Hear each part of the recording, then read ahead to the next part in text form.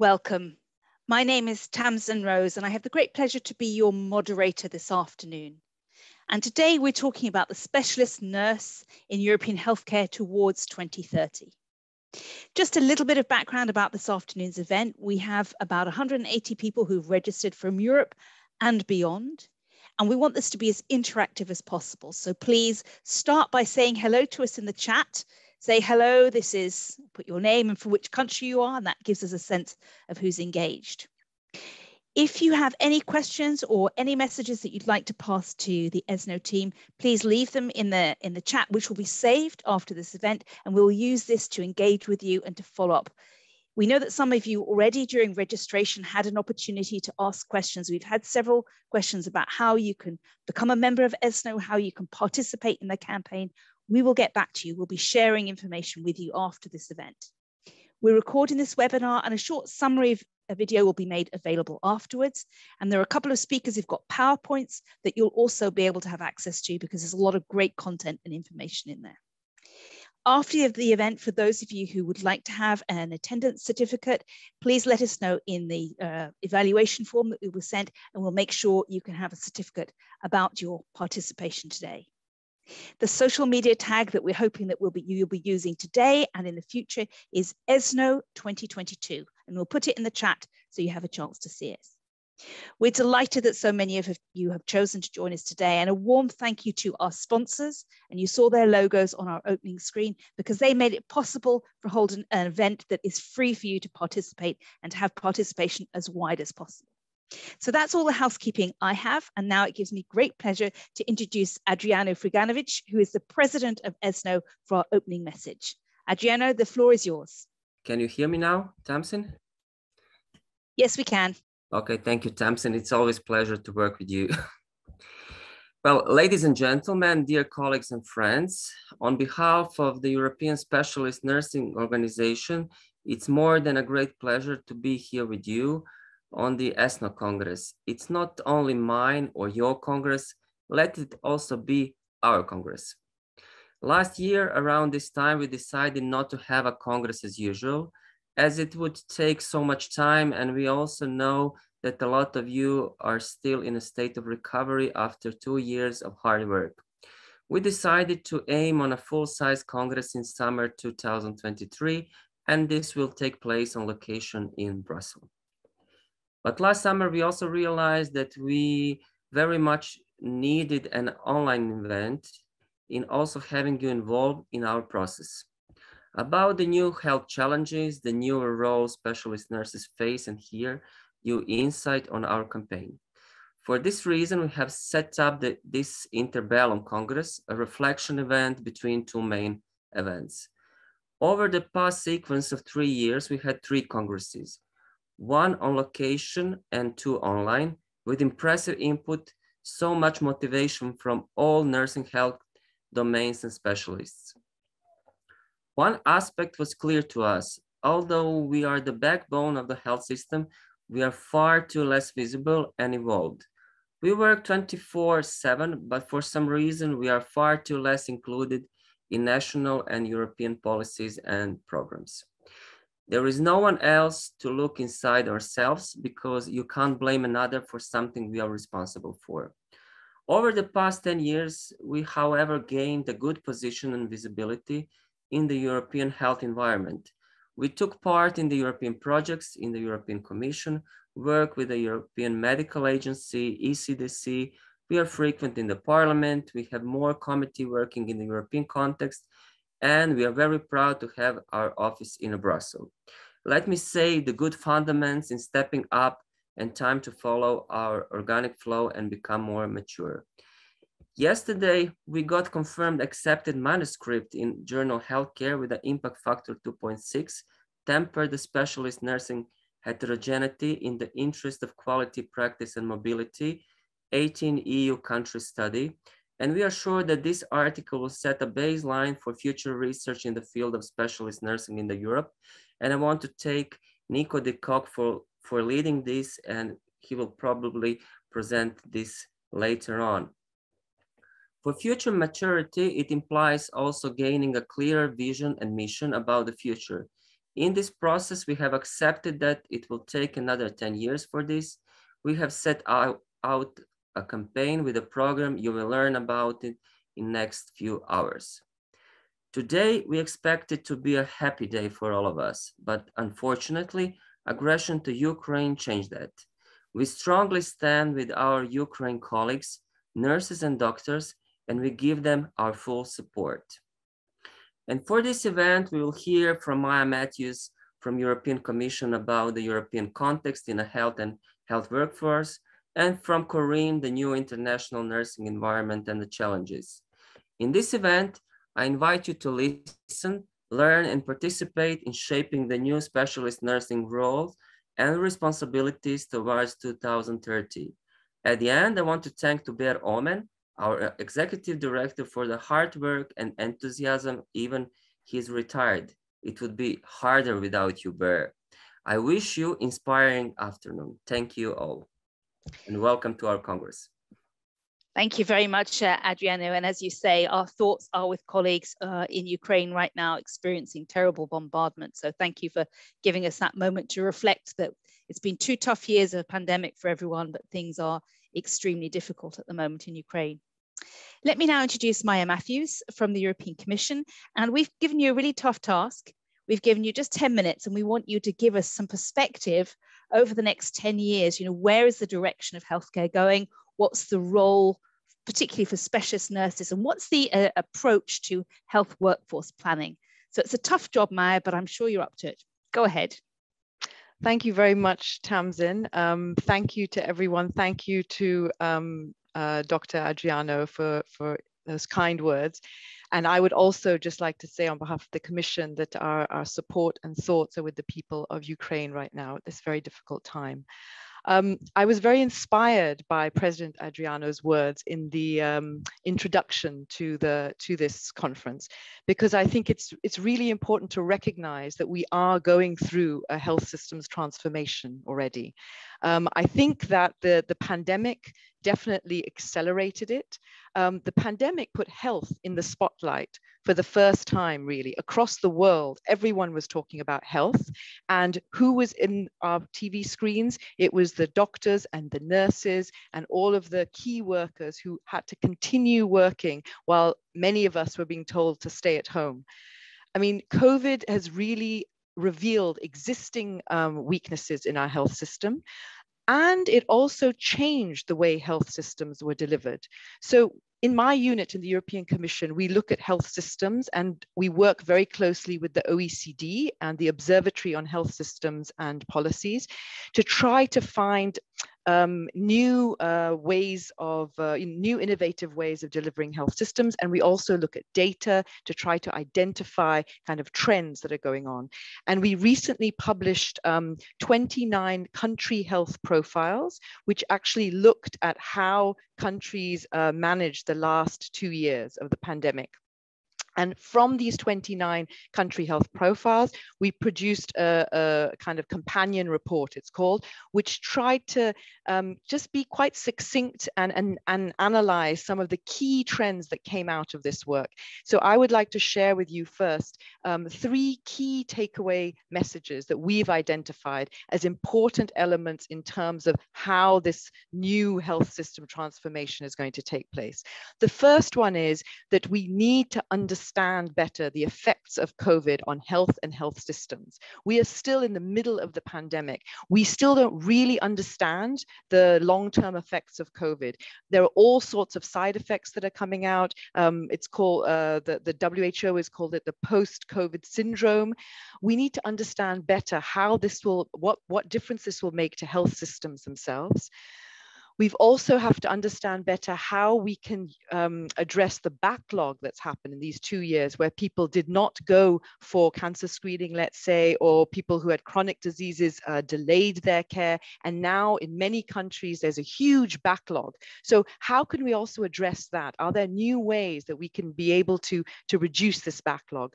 And thirdly, of course, as people are seeing, the pandemic has also created a mental health crisis. And this is also very important. And as I said, we are still going through this. How are we actually delivering the mental health support that is needed? And we actually published a, a report recently by an expert panel that we had where we asked them to really focus on addressing the mental health needs of the health workforce. Because from what we understand all of you as you said Adriana, you are at the front line but you've also had huge um, anxieties and, and mental health uh, needs. And sometimes you put other needs in, in instead of your own needs. So we've also looked at some very good examples in spain for example.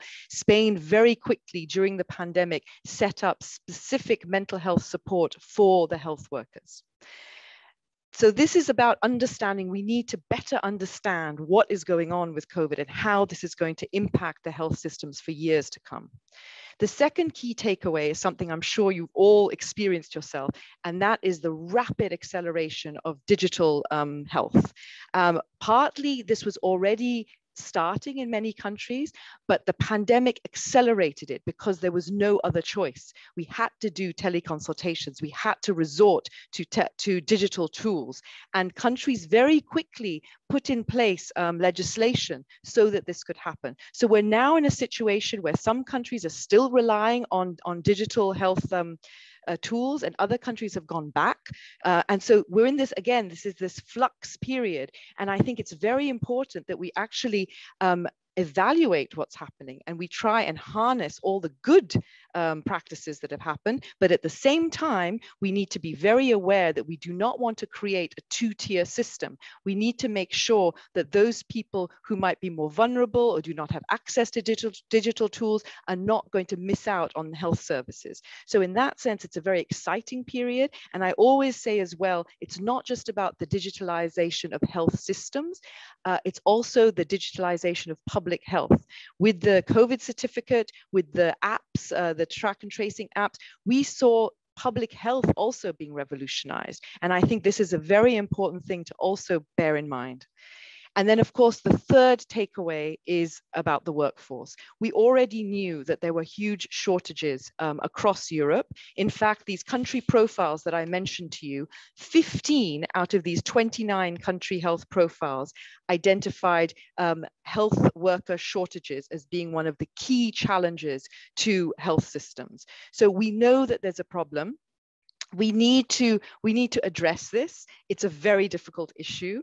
Um, we know that within uh, the european union there are huge disparities and also within countries the so-called medical deserts where you have some countries that within the same country you have huge uh, disparities in um, doctors and nurses and therefore health systems uh, delivery.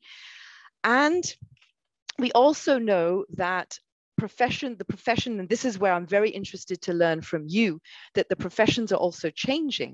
And one thing we've noticed from the from the pandemic is how task shifting was was done. That also there was training, very quick training, because we realized that the workforce was not agile. We did not have the surge capacity that we needed sometimes, where where um, nurses who had not had training in in uh, intensive care units were, were needed intensive care units.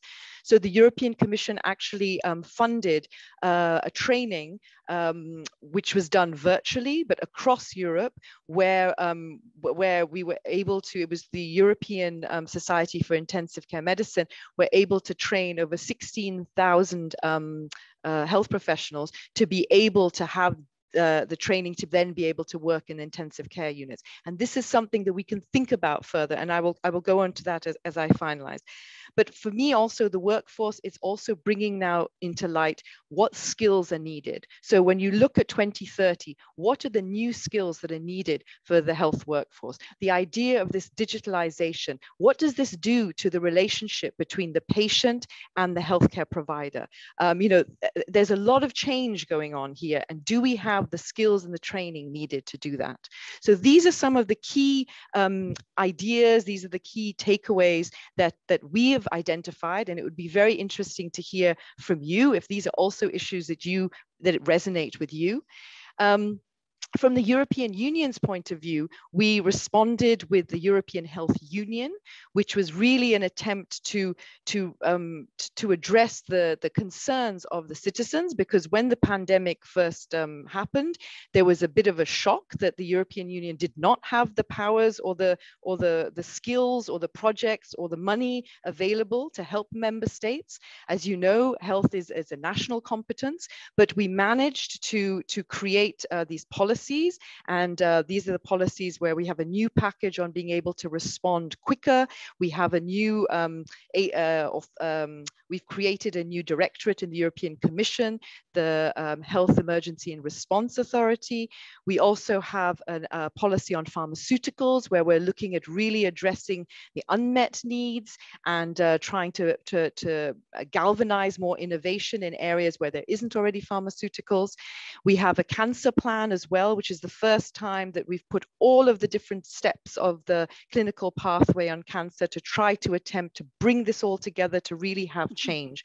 So these are kind of some of the policy areas. And in the digital area, we are uh, looking for a proposal on the European health data space, which will kind of create an infrastructure within Europe where we will, we will be able to share information and data more.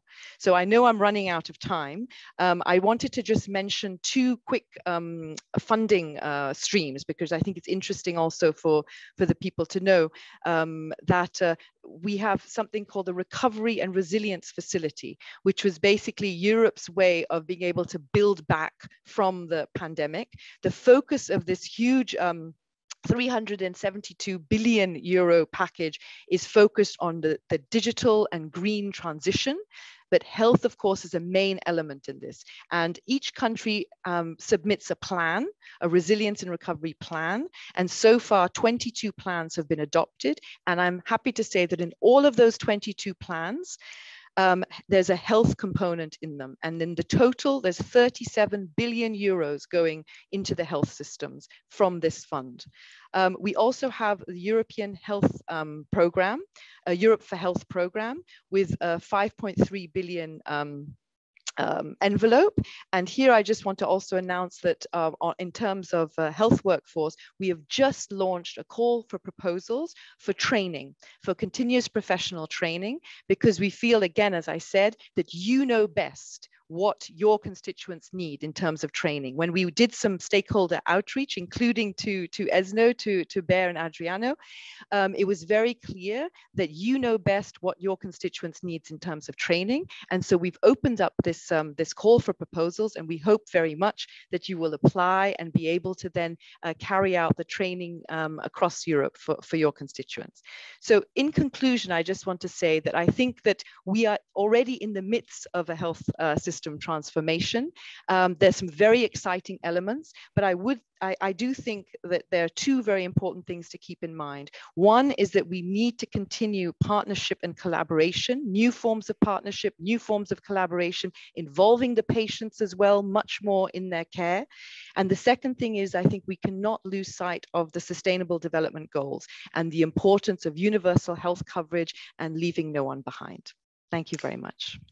Thank you very much, Maya. You set up our, the, our following discussions very nicely, lots of information, and we'll make sure that everyone who's, who's on this can have access to the links about the EU for Health and the Resilience Programme and Package. So that brings to an end this first block of introduction. And now I'll pass over to Bert for the next section. Thank you so much, uh, Tamsin. And um, yeah, this is a, uh, um, a, a, very great uh, opening of, of today's uh, conference. Um, I'm Bert uh, Vrijhoef. Uh, I'm based in the Netherlands. Um, and um, uh, I have a background in health services and systems researcher, and um, I'm confident to call myself a um, friend of, of ESNO. Um, so it is uh, my pleasure uh, to introduce to you uh, Dr. Corina uh, Scicluna, um, she is a um, senior lecturer and coordinator of the Skin and Wound Care course at the Faculty of Health Sciences, uh, Department of Nursing at the uh, Mater Dei Hospital in Malta. And Corinne is gonna uh, talk about, um, as you can see now, leadership and specialist nurses. So Corinne, the floor is yours. Thank you very much, Bert, for the um, introduction. I am a lecturer at the University of Malta, that's uh, correct. And um, I've, I've, been asked, and I wish to thank ESNO for inviting me to speak about two of the, in my opinion, very important and pertinent topics um, in nursing at the moment. One is about leadership and the other one is about specialist nurses. And I wish to thank Maya for a very um, inspiring and thoughtful talk and important for us to know what the European Commission is talking about. And I think I'm going a bit further. All those things that were mentioned by Maya is, are very important, but I believe we need to go back to the core of what is still happening or what needs to be happening in nursing and specialist nursing and leadership. As I said, I'm Corinne. I have no conflicts of interest in this presentation, and I'm a lecturer at the moment. I was a, a specialist nurse for a few years uh, before I went into management and now into education. I'll be talking to you a bit about specialist nurses and leadership and future recommendations.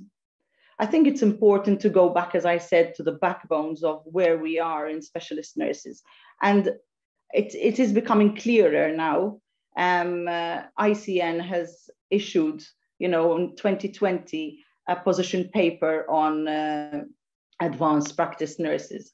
And although we are still under the umbrella of advanced practice, and that hasn't changed since 2008, I think what is important is um, the importance of specialist nurses being um, looked at more from an educational part. So if we look, it's not only about the skills and experience um, and beyond, obviously, the generalist knowledge. But now ICN has taken a stand and said that it is about having a master's level and all the other things that are incorporated in the position statement that they issued in 2020.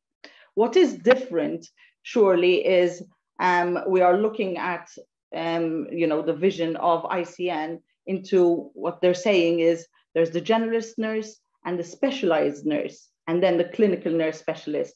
When I looked into this a bit, although it might be confusing, but there is more explanation, and you will have the references at the end of this presentation, um, is practically what they're saying is you can have a generalist nurse that goes into a specialist area, gains the um, competence um, and the standards required in that area, but she will only be considered a clinical nurse specialist until um, or when she gets a master's degree. So this has been at least ironed out.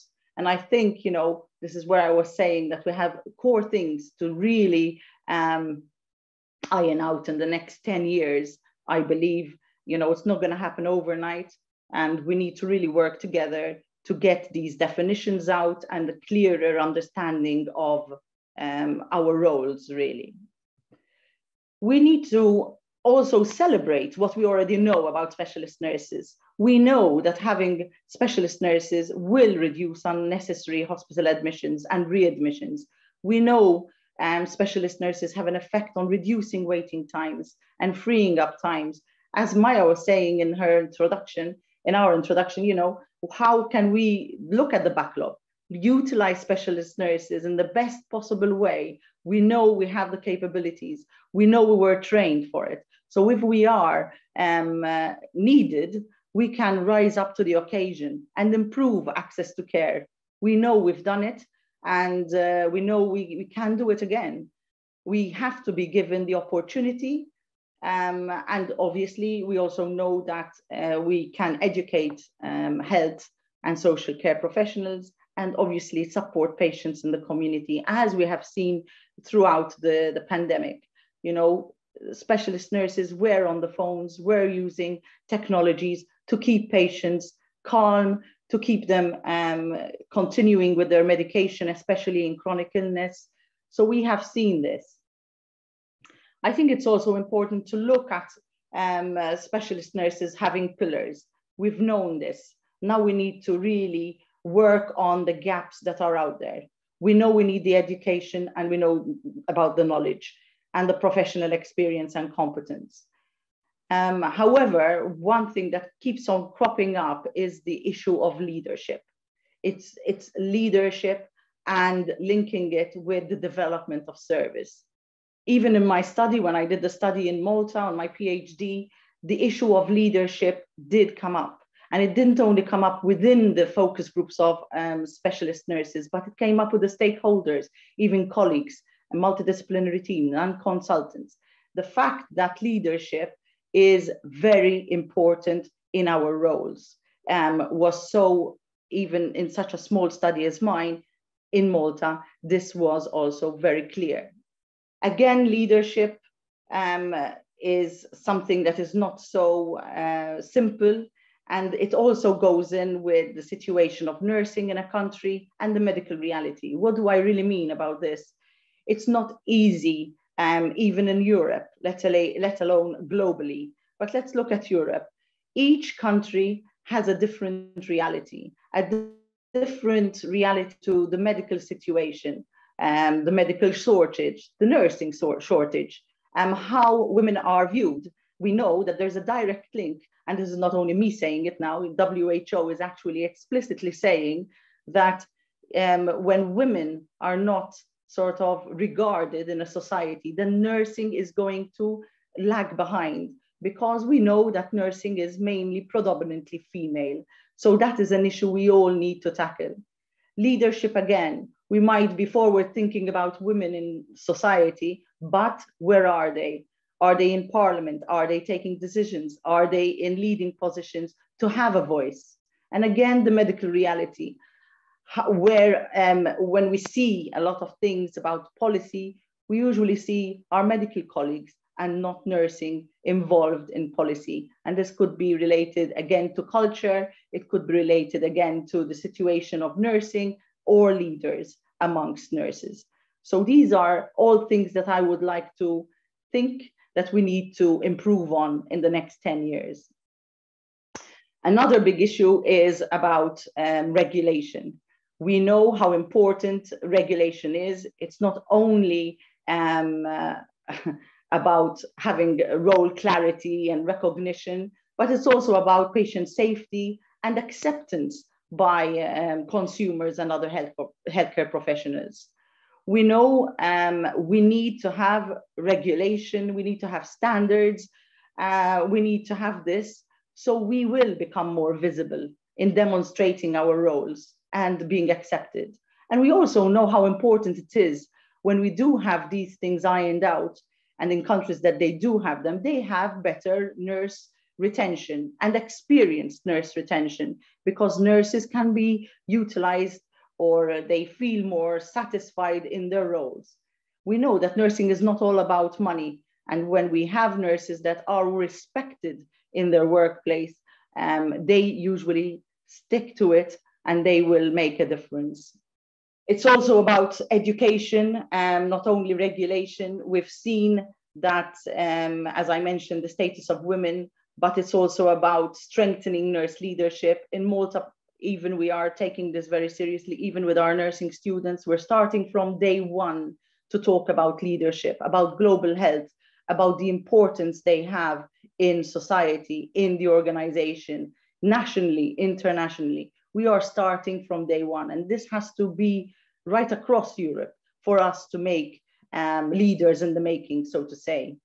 Unfortunately, the WHO report in 2020 um, uh, was not that, uh, you know, well identified areas that we need to work on. And this is mainly about enabling um, nurses to work in their full potential, not to be only be subordinate and in the direction of doctors um, we need to be more visible uh, and we need to have the opportunities to be at policy level. And we need more training and professional development.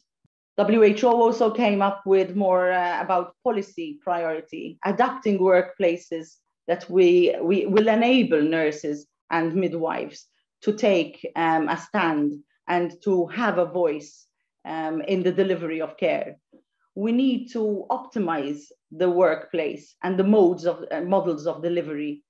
We need to even look at the scope of practice and the responsibilities that nurses have. And see again what Maya was saying how can we look at the backlog? How can we look at public health? Utilize the nurses to their full potential i say. Look at how we can develop the scope of practice of nurses and then obviously ensuring decent working conditions for these nurses. I said we don't always look at money but it always helps when we the money and the, the, the work environment enables a good working environment to stay into a position. I think finally, we need to look at the wider implications. We need to look at addressing gender related barriers and, and leadership because we know that this will improve the health situations for all.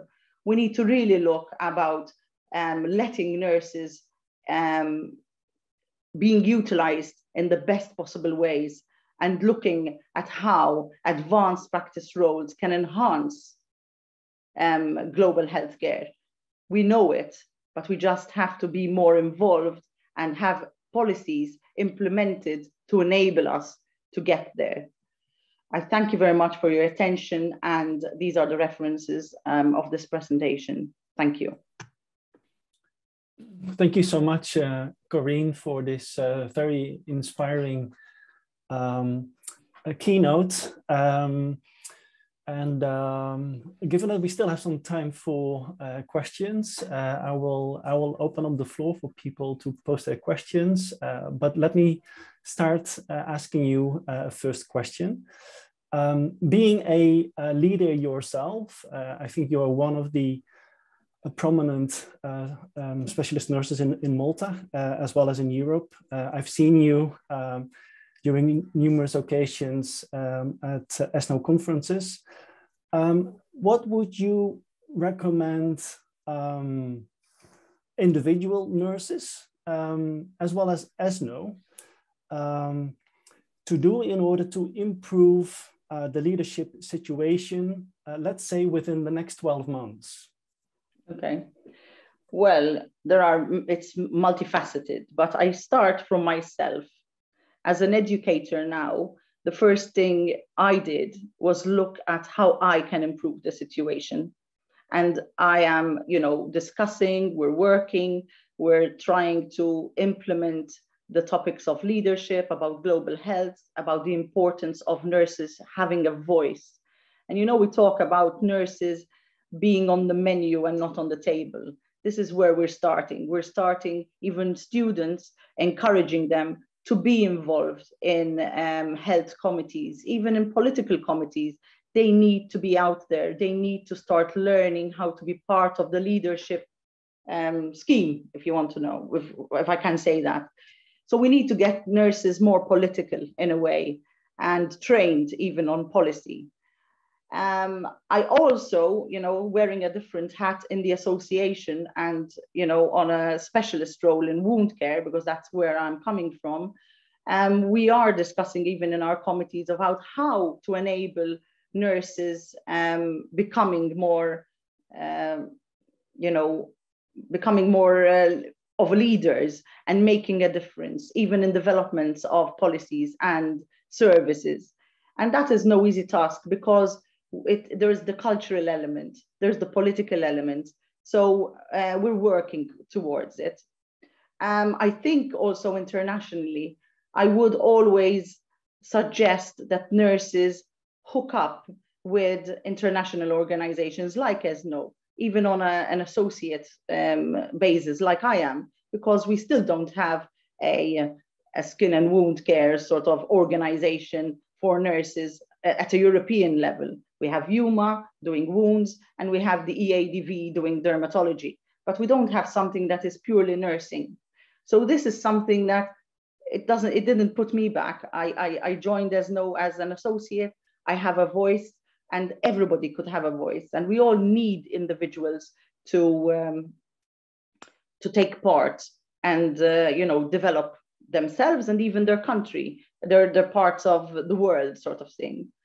I even will suggest questioning what is happening at, uh, at policy level and at regulation level.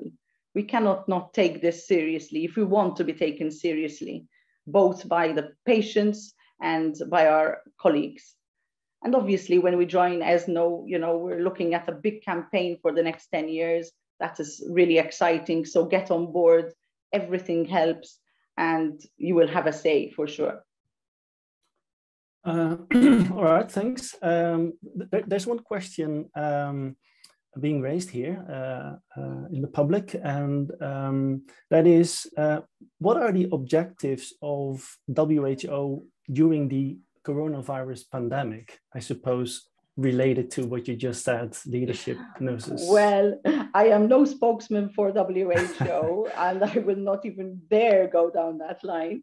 Um, my role was obviously looking at the work that was done by WHO and its good work about the nursing report. Um, uh, the, the state of affairs for nursing in 2020 and it gave us a really good idea of what is happening out there so I'm, I'm sorry I won't be able to delve into the objectives of the pandemic, but I'm sure as um, you know, we heard from the commission by Maya, um, there's a lot of learning going on. And I hope that we continue evaluating uh, the importance of, you know, as we saw it, um, migration, about utilizing expertise, about being prepared. Um, there are so many things that we, you know, WHO is talking about them, but I'm not going to talk on their behalf. But we know that um, for sure there are lots of objectives out there that we can learn from.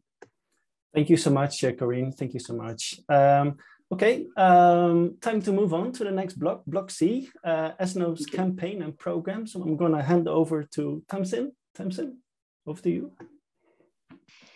Thank you very much. And it was a really good start to the session because at the beginning, I think Maya set out how EU countries have recognized the critical challenge of ensuring they've got a sustainable, well supported, well trained health workforce. And Karina has just highlighted for us, you know, the evolving role of nurses uh, advancing their careers and their and their professional landscape, both in the clinical setting and in the political setting, and talked about the, the, role of leadership. And I think that brings us very nicely to what we're going to talk about now. And I'm delighted to pass the floor to Ber, who's the uh, executive director of, ESNO, who's going to introduce to us the campaign. Ber. Thank you very much, uh, Tamsin. Um, yeah, there is so much to say. Just um, and it's it's it's a conference with lot of uh, speaking slots, and it's um, it's very important just to to stick to my time. I have two um, um, two uh, two presentations, one short video, and video is more as a kind of an introduction why is this campaign, what we're doing, and also reflecting on the Corinne's words that we have to be more out of our scope, a bit more wider than, uh, than only our clinical work in the ward. That's not nursing. Nursing is so much bigger. So in this uh, short video, I'd like to uh, ask the uh, the, um, the team just to, uh, to, to, to give it uh, to give it a start, and after that, I'll do a nice PowerPoint presentation. Thank you.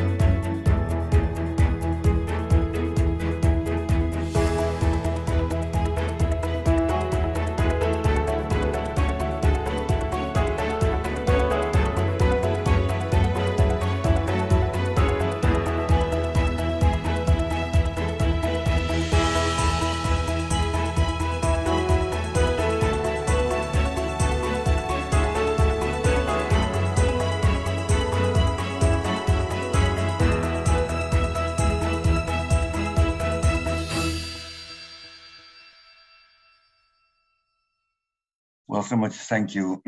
it's a kind of a short introduction that shows that nursing world is far much more and that we really need to stepping into open doors. Let me screen, let me share my uh, my screen. There, and while we're doing that, is that wonderful video that we've got lots of congratulations already coming in the chat. That will be on the ESNO website, so people will be able to share that video more yeah, widely. We have our, yeah, absolutely. We have our uh, ESNO YouTube channel so um, we will uh, we will include it on the uh, on the YouTube channel, and we will um, share it also to uh, uh, uh to uh, to to everybody. I think kind of an inspiration, um, because inspiration yes. is also driven me. Well, Adriano thanked me for all the work, but it hasn't has not been possible without the the moral support of so many others. So I'm just going to give a kind of an introduction to the program. The program good understanding, is going to be launched 12 May International Nursing Day 20 uh, in this year. So this is a kind of an introduction, and um, we would very much like to have some input from the members during on the participants of the of, of the of, of, of this congress just to fine tune it because it's a start. Um, so uh, first of all, no, well, this is a kind of a conflict of interest disclaimer, no conflicts uh, related to this presentation. And let me first start uh, my presentation in uh, that I'm going to speak about six aspects. First of all, let's not forget why we are online. Why we are online. Um, we need to address the new health paradigmas uh, I give you a kind of an introduction on the program because the program is bro uh, broken up in, uh, in, in, in sections. And we hope that for every nurse that they feel, say, well, yes, I, for this part, I feel connected. Then I need to talk about the short, uh, some wordings about campaigning because nurses don't like campaigning. They like to do their work, but campaigning is really essential and uh, then talking about unheard stories. Stories are so much important. I'll come back to this uh, later. And well, we have the time. It's 10 years, a decade, but still, it's not endlessly. So let's not forget why are we here online? And well, the last year, no, what two years ago, uh, the COVID came in, and everyone there was a lot of despair. What's happening? Uh, colleagues uh, just holding each other. There was a, really a group, a, a sense of belonging. Let's do this together. Uh, we have uh, intensive care nurses um, at the end of the day, just going to the to the um, just bringing people uh, to the to the mortuary. It's really terrible what what uh, what what happens. We saw a lot of uh, clumsy um, aspects of issues now on the on the on, the PPE. We were not prepared, as you see on this image. People with two mouth caps with tapes. So it's let's not forget it was for a lot of us, it was still yesterday. It's still on our face. What's what's what what what what's happening? Here you can see the image of an intensive care nurse of an intensive care unit. And please be aware, they're not only intensive care nurses. They're also the the, the, the doctors working there. Also, some managers uh, step uh, step in. So uh, they're all equal in this. And most important of, of this uh, let's not forget the care, the, the, the, the home care settings, uh, where people had to die alone without a family and only with nurses. Uh, you see also with uh, with Im improvised protection, just uh, with with an image on their um, on their on their mobile, just to, to, to say their relatives goodbye. It was really impressive. So let's not forget that ever. And also, well, we also know uh, Nurse Elena, uh, Elena Pagliarini. You don't, don't know the name. Uh, she came as a symbol, but if you're looking at this image, everyone knows. Uh, she fell asleep, and after that, she she, uh, she got uh, she got COVID, recovered, and she's and she's back on track and and, and on the, on the ward. So this is also a bit of the background, and also when we looked at here that the words of of, of, of Maya, she said, well, she, there's a lot of, she also mentioned there's a crossroads uh, on, uh, on, on health, but there's also a role for us uh, to, um, to take. Eh? So there's, um, um, it's, it's it is good to have this in mind. So you can look at a roadmap. So they're bringing people together for shared actions, and um, and that they are good for shaping the digital evolution. You also can looking at forecasts based on uh, extrapolation of work, and uh, what went well and how do we go forward. But also new pathways. But there is also a lot of a lot of scenarios. So there's there's so much aspects if you're talking about health in the future and, and there's a role for each of us each of us no one no one excluded. And for a lot of nurses and that's also what uh, Corinne also uh, added uh, if you look at the first health acute response well there was this very medical dominated and we're very blessed with this with this uh, what what we achieved. Also with the pharma that they developed these vaccines that we that we have nurses able to train and there's uh, but it was very medical. And what we see at the moment that somehow we forgot the whole conceptual thinking. We have also a society. Uh, we have also um, uh, the chronic we have we have the elderly, the NCDs, the the, the, the non-communicable diseases, extended care. So uh, at the end, we really need to uh, to be more in, uh, integrated, and that's not only in care but also in the in the in the advocacy. So if you can look at this system, you can have de uh, degenerated system approach where you are, are taking the attitude of the user, using the sources, but that comes to an end and that we uh, we experience a lot of this. But also you can have also the regenerated system. You're going up to how how to uh, how to energize it. So you have to go from the user's approach, which is less effective, to a more investment approach, which is more effective. And we all need each other on this. So what this really needs a kind of a new mindset so to be uh, regenerative, sorry for the word, you have to be uh, restorative, sustainable, also green and uh, uh, extra active. So there's there is there's more than only making new shortcuts. So we have to think more uh, conceptual. So if I go to the program, uh, I'm the privileged. I'm just having the first one. And um, well, the designer worked on this only this afternoon. And mind you, it was a late, it was a, uh, a person from uh, living in Kiev at the moment. So uh, there was there was a hard hard work done. And the program, it's uh, not just a program. It's um, it's a constructive response where it did go wrong and how uh, how to work to a better safety healthcare. So it's not only for us nurses, but for good quality of patient care. So this is a kind of a start, and this is the front page. And after the event, this, uh, you, you're going to be invited to have a good look and also give your give your reflections. The goals of this program are showcasing uh, the best we have, also our uh, our diversity, uh, contribute to ex as expertise, just taking part of as, as expert, but also um, doing a lot of promotion. And at the end, we hope it will also contribute to uh, retention and recruit uh, recruitment. So the program has five main pillars. The uh, recognition, providing the relevant uh, expertise, a lot of uh, relations, internal and external, advocacy, and research. Um, recognition uh, is, is, very important. So I'll go through the slide a little bit uh, faster because after the event, you, uh, you can have a look at it uh, for, for, yourself. It's really expertise. You so because uh, you cannot go there without people showing what uh, what you can do. Relations is very important for us as ESNO is to our, our internal relation. Talk with the members, talk with the associates, and uh, and then also to the external. So you, it's not good to have only external good contacts if you're if, if your house if you haven't done your housework internally.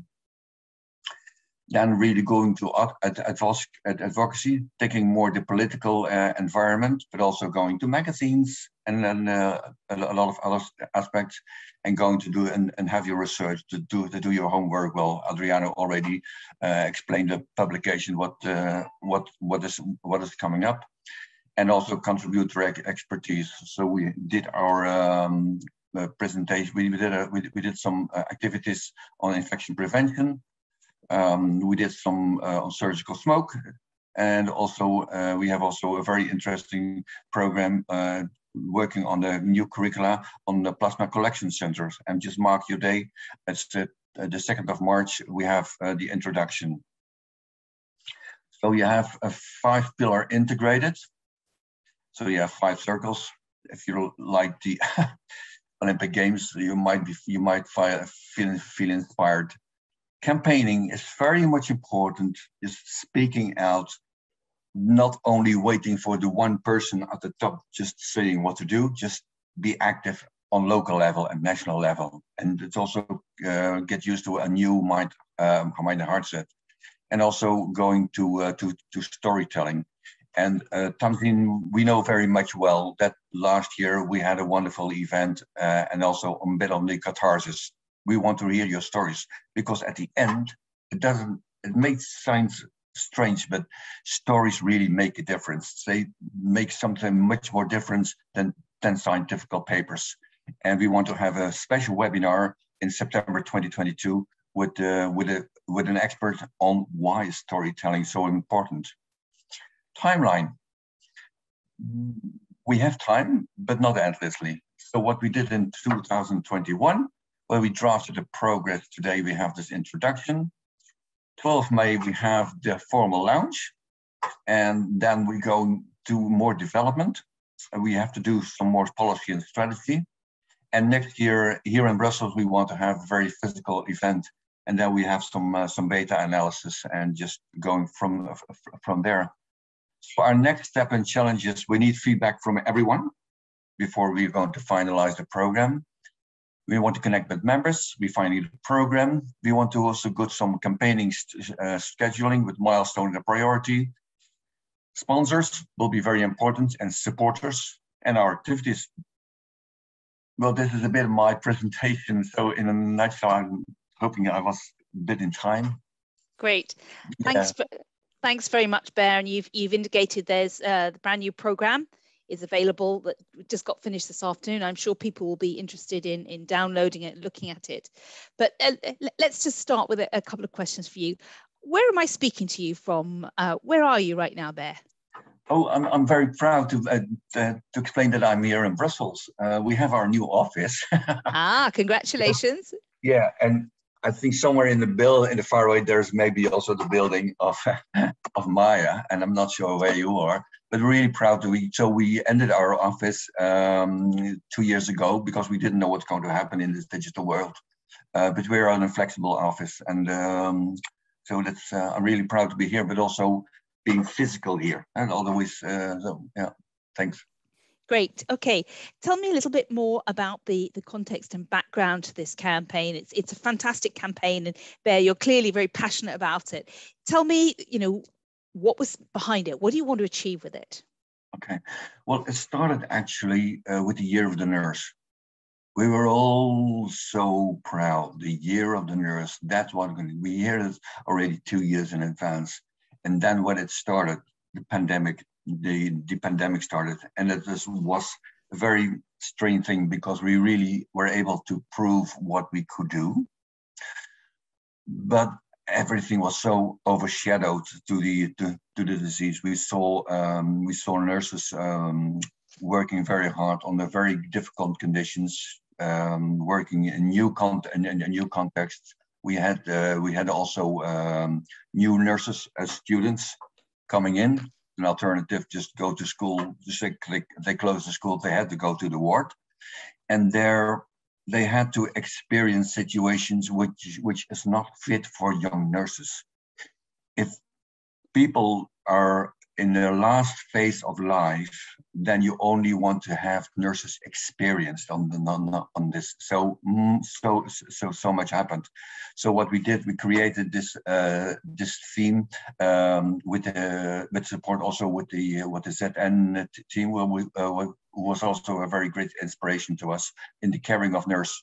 Let's let's let's do the caring of nurse, and then the year was not enough. So that's why we say, well, yes, let's take time for this and let's declare, declare the decade of the nurse under the caring for nurses. So let's make a good campaign.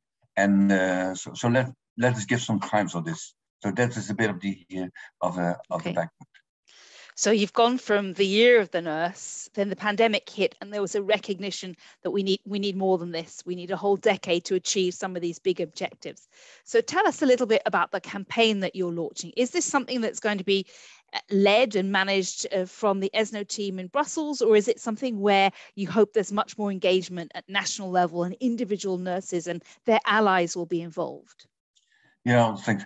The um, you see, if you're thinking about nurse in international European context, it's very difficult if you're working there from a very uh, from from your from your local issues, from your local uh, of your national um, uh, view. So it's good to have a kind of a broad scope, and that was uh, and that our program is more as a guiding, as a more kind of a fundament, and every nation can do can can uh, can give their cultural um, signature signature signature uh, to this. So as I explained, the um, the this uh, the, the, formal launch will be the 12th of May, but we will like to we would like to uh, every year to giving an, an update, just so if you have an annual update. So every 12th May, every in in the next in in the next years it will be it will be updated but also included with the, the achievements.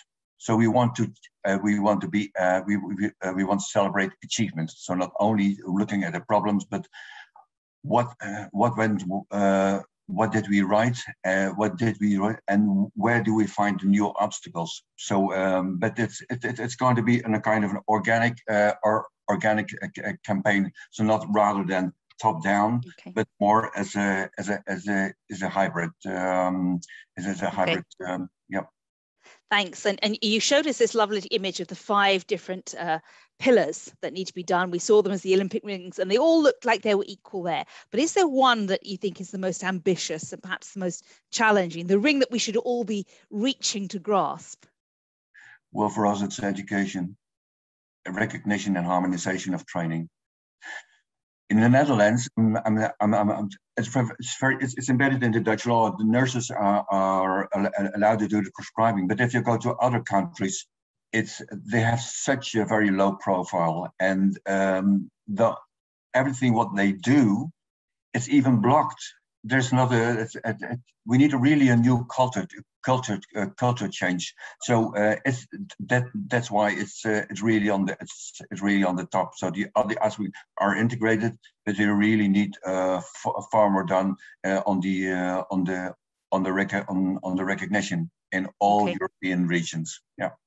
That well, that's certainly something very ambitious, and I would imagine that would be one of the key success criteria for your campaign. If you're looking at over over a 10 year period and it takes time to change legislation and regulatory frameworks.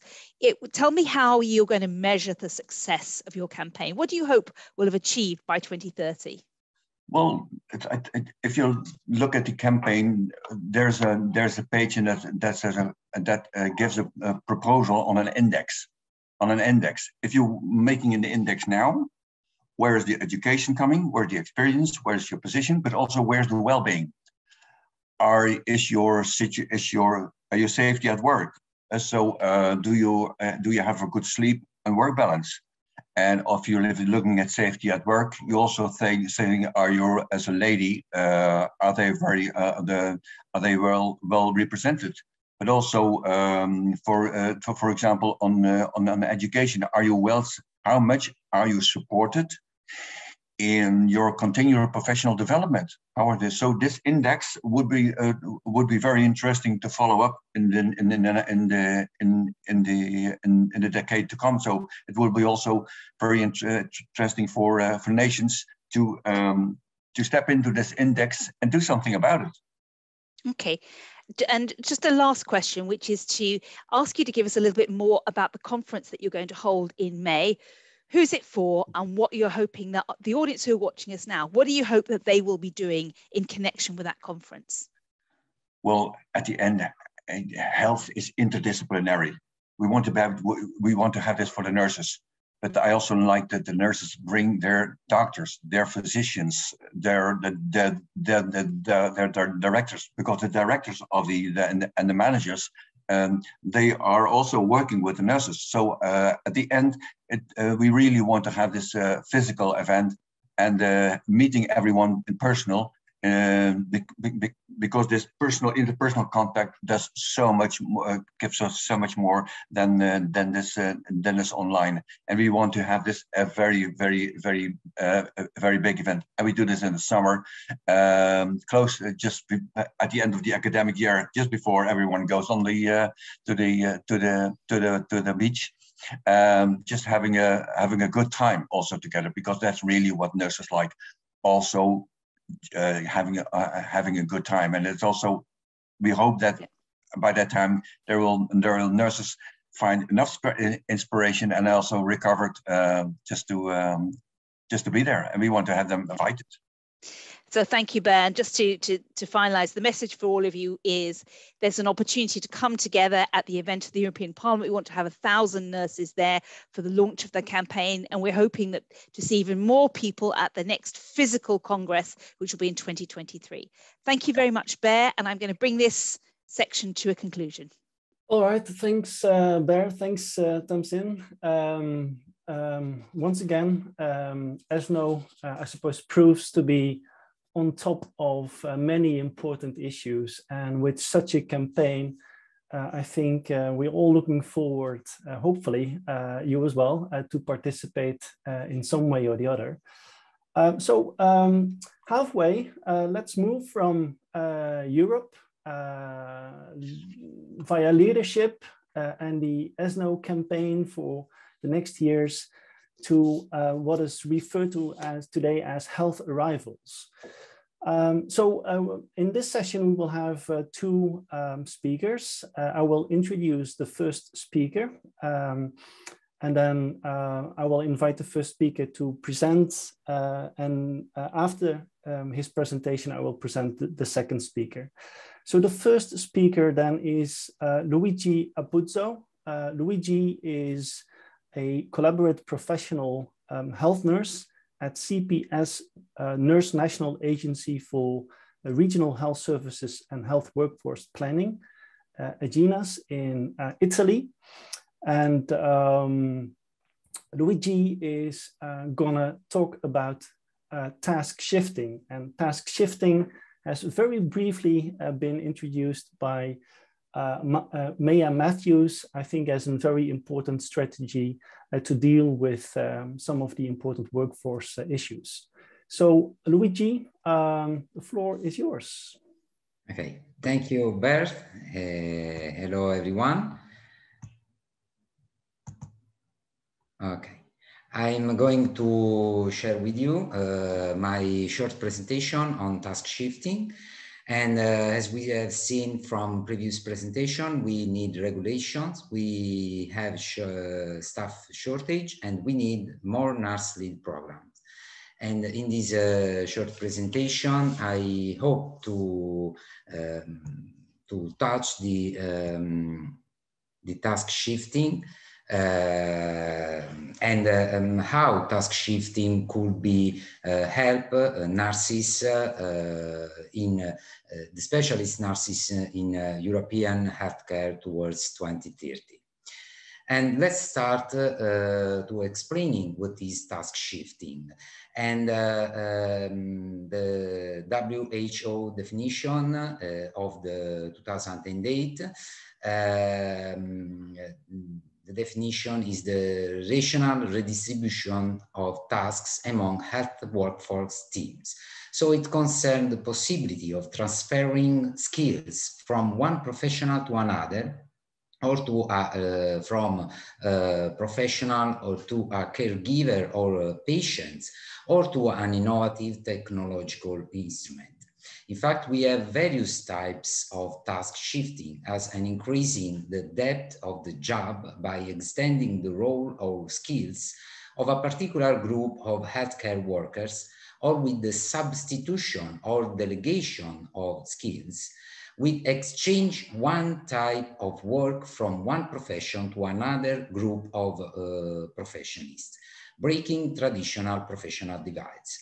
Or with task shifting, we uh, also uh, have the possibility to create uh, of new skills, of the creation of the new skills and so on.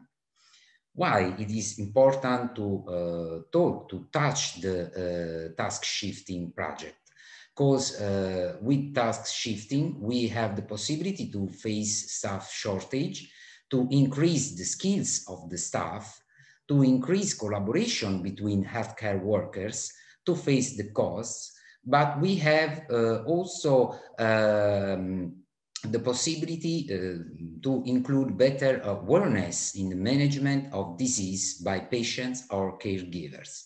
Some examples that we can report during COVID-19 are, for example, the body temperature control made by electronic instrument or by non-health personnel, or even the execution of swabs by pharmacists. We have, mm, I could uh, represent some results of past experience. Often with task shifting, we have uh, the uh, regularization of in, uh, informal practice. And uh, uh, with task shifting um, uh, has involved, task shifting has involved in recent years, which often see the regularization of practice already consolidated informally in various care settings that have led to some legislative changes in uh, Belgium, Italy, Ireland, the Netherlands, and Scotland. And finally, I, I could report the recognition of the specialist family nurse in Italy last year. What's happening uh, in Europe? In Europe, uh, we have a project called uh, TASHI. Uh, TASHI has been active since last year, which sees various European countries involved in with the aim to study and evaluate task shifting in various settings, such as task shifting between family doctors and, nurse and nurses in primary care, in mental health care, the use of telemedicine in wound care setting, and task shifting in the field of ophthalmology. Some of the main results of TASHI will be a guidebook of task shifting, uh, various case studies, set of the recommendation for task shifting actions, collection of useful tools and practice, and practical training materials and curriculum for task shifting. TASHI project involves seven partners, uh, partners in uh, uh, various European countries, such as Italy, the Netherlands, Estonia, Norway, Lithuania, and Hungary. Hungary had the lead of the project. I could report uh, uh, some example because uh, I also want to report what I think represents strengths or weaknesses, threats or opportunities for nurses. Among the strengths is the push to work in a team, courses already available for same areas, and some activities are already performed informally by nurses. While among the traits, certainly some that we see also exposed in this slide, it may happen that there is no real recognition of the transfer of competencies. So uh, in these three examples from Italy, uh, we could see uh, the um, situation of vascular uh, uh, access vascular specialist nurses and uh, echocardiographists nurses and wound care specialist nurses. So we can see that uh, uh, these specialist nurses are trained with one or two years postgraduate course. This course have uh, a cost between uh, two, um, uh, 2,500 euros to 3,500 euros. And we can see that uh, uh, nurses now can formally implant peripher peripherally uh, central catheters, but they have more responsibility but the same salary. Or uh, in uh, uh, the field of the echocardiography, nurses now do echocardiography, but informally, in an informal way. And this is not recognized. Nurses can sign the report. Or in a wound care setting often is not recognized because uh, nurses can pres prescribe dressings.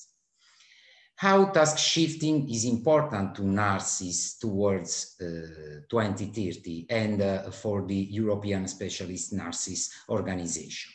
Uh, I think, in my opinion, uh, that ESNO uh, have to follow ongoing projects in Europe and insist on the, on the recognition of skills already performed by nurses, but which are not formally recognized.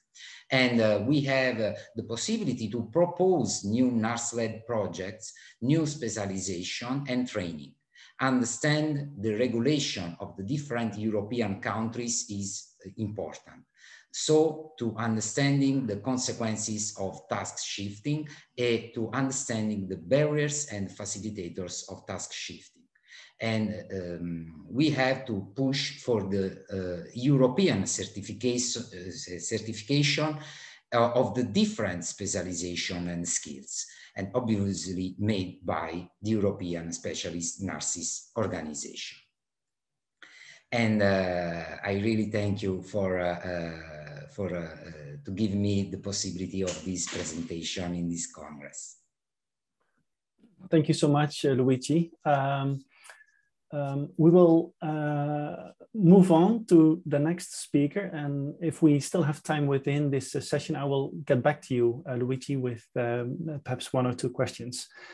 so it's my pleasure then to introduce to you Alessandro, Dr. Alessandro Stievano, uh, who is a, uh, professor, um, health professions, uh, bachelor and master's degree courses at the University of Rome, um, Tor Vergata in Italy.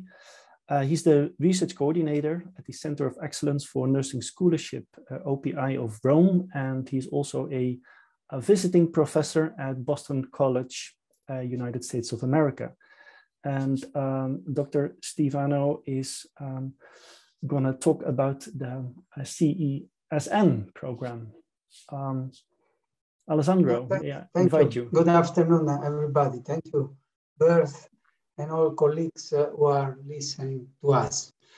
and um, this afternoon, uh, uh, I think uh, I've uh, shared my presentation, and you know, this afternoon I'm talking about you know, this proposal for the creation of the certification for the uh, European specialist nurse. And, uh, you know, this program is part of the development uh, plan of the ESNO, because, you know, if, uh, if you have seen the presentation of Ber about the five pillars, uh, it, it's uh, well embedded in the first pillar of harmonization of different credentials uh, and different, uh, you know, uh, practice activities of nurses in Europe. And, you know, this, this, this program is specifically aimed to, to advance, you know, specialist nurses among the different uh, European countries. Uh, and uh, we know because uh, it was uh, already underlined very well by, by Oomen that there are different legislation and not all nurses can do the same things uh, in different countries. Uh, and uh, we, have, we have already seen uh, with the previous presentation by, by Luigi Apuzzo, you know, that, you know, in some, in some cases, nurses can prescribe.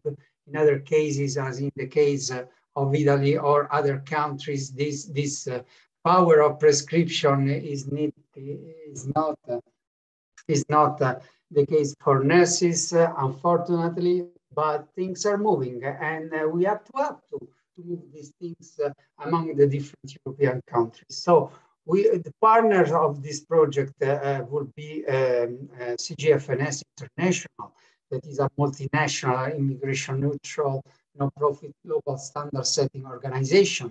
It's a global recognized authority on the standards, education, credential evaluation of migrating nurses and healthcare professionals. And, you know, I would like uh, to uh, underline that uh, in CGFNS, uh, has already collaborated with many organizations worldwide to develop these kind of programs. And uh, particularly, CGFNS is collaborating with academic institutions, certification bodies, regulatory authorities, employers, healthcare systems, and uh, over 45 years, uh, this organization has served more than 3 million of healthcare professional, professionals, uh, and uh, most of them uh, are nurses. So we are partnering with this important organization to launch this project for, uh, for uh, you know, with this trusted partner also for the security and data, data privacy. But what is it? this uh, certification for European specialist nurse. This certification is based on some uh, underpinnings and uh, you know, these underpinnings are represented by nursing education, nursing li licensure, registration if applicable, because we have seen that in different countries, you know, there is uh, an heterogeneity of this uh, registration, nursing experience, professional reference and uh, on the professional nursing specialty organization. In our case, uh, the, the EU uh, specialty nurses organizations.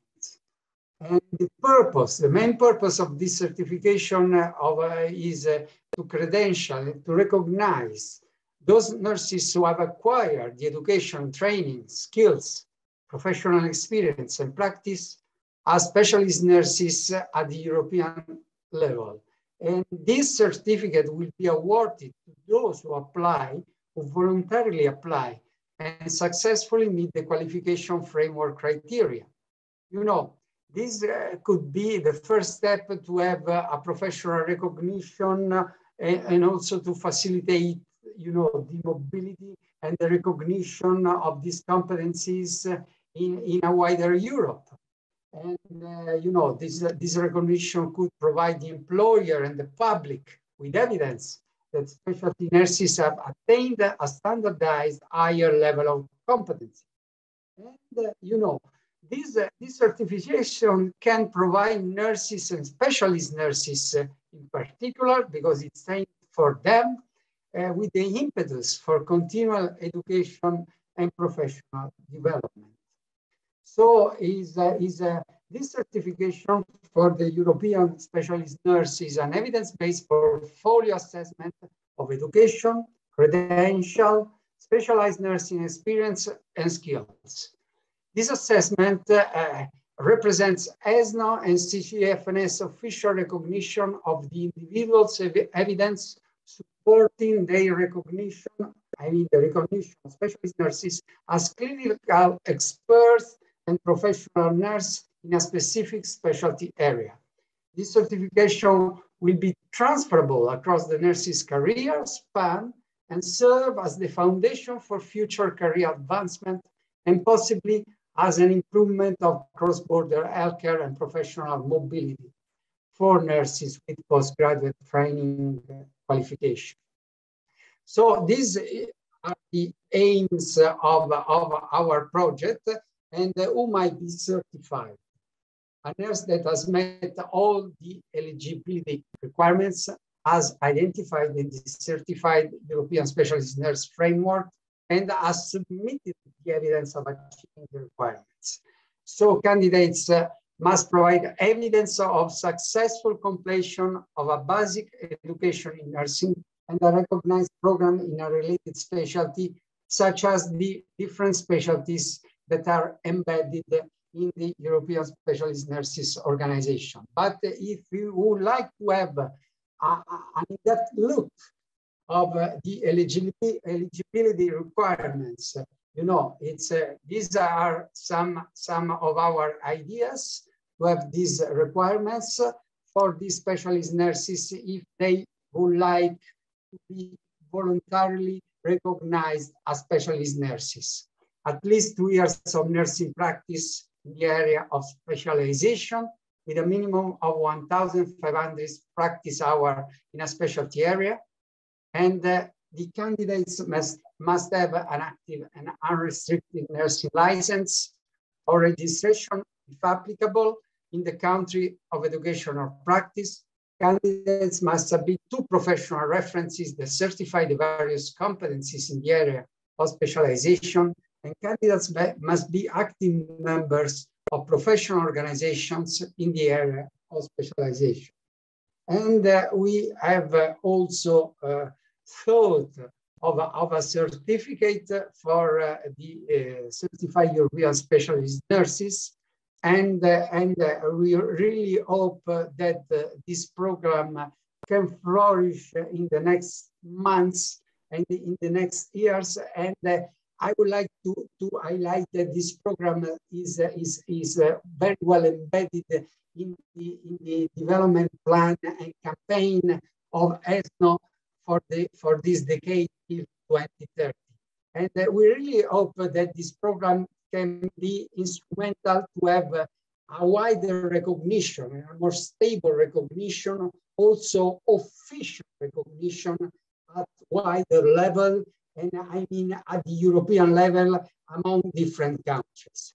And I, I would be more than happy to answer to your questions about this program. And I would like to acknowledge all of you for listening. Thank you so much. Thank you. Thank you so much, uh, Alessandro uh, and uh, Luigi for presenting um, uh, two very important uh, activities uh, under the ESNO's umbrella. I invite people, if they have questions, to post them via the chat or the Q&A area, since we need to move on to the next part of our uh, program, um, which is the debates and discussion uh, part. So I'm gonna hand over to uh, and uh, I think, is gonna introduce the panel to us. I am indeed. Thank you very much, Bert, and uh, to our two previous presenters.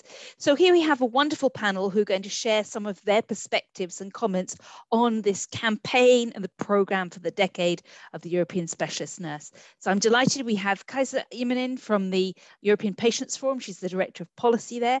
We have Nico de Kock, who is the Pedagogic Director and Senior Healthcare Manager um, and a nurse from the anesthesia, anesthesia sector, and Daniela Lehwaldt, who is the academic lead in nursing, but particularly working at the uh, ICN, I think, if I, if I got the information correct. So you, you can give us perhaps some perspectives. We just announced this big campaign. You've heard where it came from. It started in 2020 with great pride, the year of the nurse. Then the pandemic happened and there was a lot of clapping and nurses were put under incredible pressure. And there's a recognition that particularly within nursing, the role of the specialist nurse is not well understood. It's not uh, uh, equivalent in different countries. It's not appropriately recognized. And at this critical time where we heard from Maya that 15 out of the 29 countries in, in their national reports identified a lack of healthcare workers as a key challenge, this is the moment to make the case about what is a nurse, what do they contribute, what could they do in terms of leadership uh, and partnerships. So let's hear from you, your comments on, on this campaign and how you see this campaign might help you achieve your own objectives, how it would have an impact in the work that you're doing. Kaisa, can I start with you from the patient's perspective? Yes, of course. Thank you so much, um, Tamsin, for the introduction, and thank you, to Ber and ESNO team for inviting me um, to contribute today.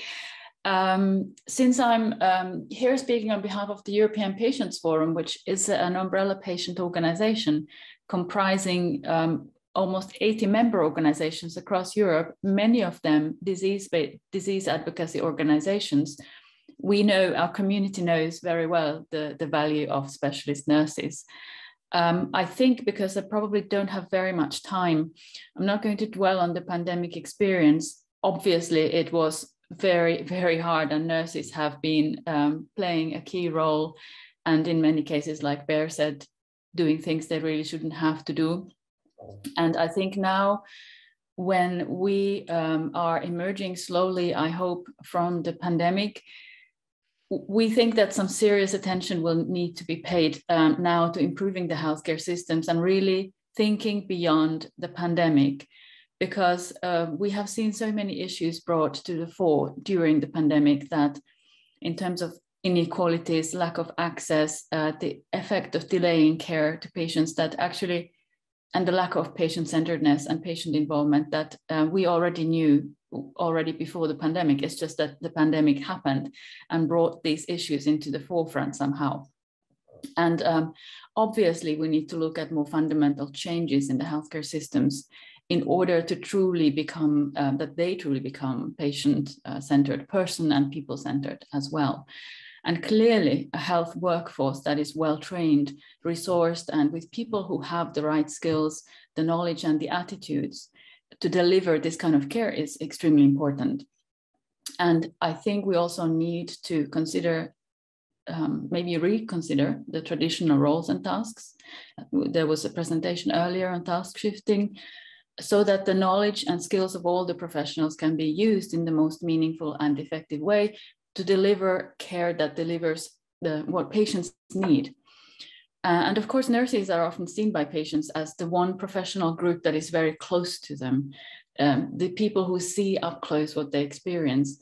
And patients do tend to see nurses as important providers of information, important um, professionals with whom they can spend more time, perhaps, than with medical doctors, and really ask questions and get support on the daily care.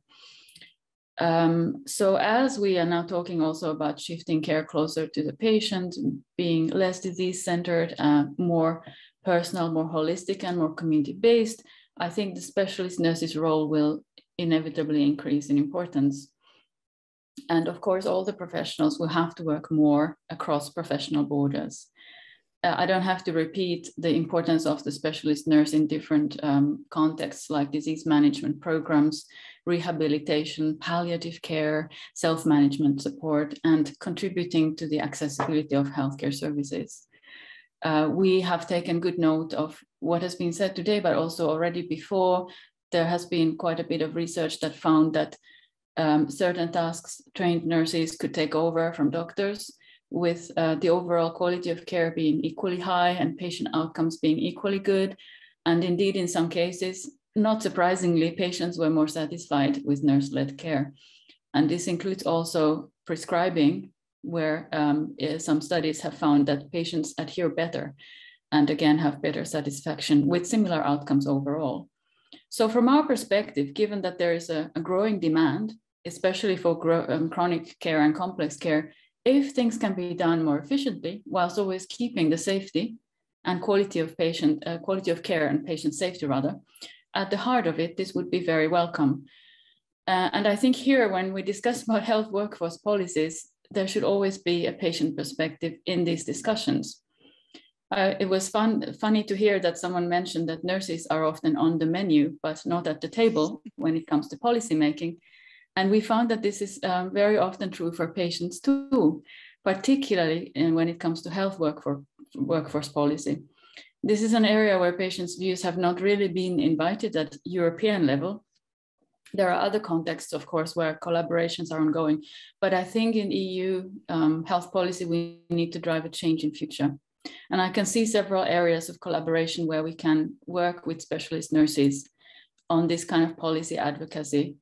Uh, for example, cons um, considering patient um, involvement in the continuing professional education and training of nurses, something we are currently in EPF looking at with uh, specialist doctors, and it would be a very natural continuum to also talk to nurses and see how we can um, um, collaborate and, and gain learnings also from existing projects that we know have been done by patient and nurse organizations in different disease areas. And another very important one, in my opinion, would be to explore the digital transformation because this is affecting all the aspects of care and the patient's journey, but also how patients interact with different professionals, the roles, and, and how we relate to each other as human beings.